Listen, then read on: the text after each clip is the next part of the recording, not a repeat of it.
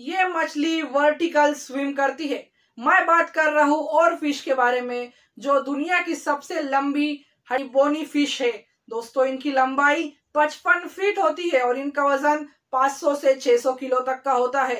ये दिखने में एक लंबे सांप या ड्रैगन की तरह दिखती है। इनके शरीर पर स्केल्स नहीं होती और आपको जानकर हैरानी होगी, ये हज़ार मीटर की गहराई में पाई जाती है और ये बहुत ही रेयरली किसी को दिखाई देती है। दोस्तों, और फ़िश के मुँह में दांत नहीं होते और इनके अंदर स्विम ब्लैडर नहीं होता और यही एक रीजन है कि ये वर्टिकल स्विम कर रही। दोस्तों, ये मछली अंडे देती है, बच्चे नहीं देती और ये बहुत ही फ्रेंडली मच्छी है, ये किसी को हार्म नहीं करती।